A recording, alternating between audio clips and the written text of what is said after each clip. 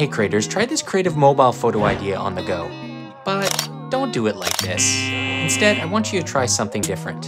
Flip your phone over and get close to a reflection. On this one, I'm gonna dip for effect because my phone's water resistant. And I'm gonna take my photos from something like this to this. Follow for more.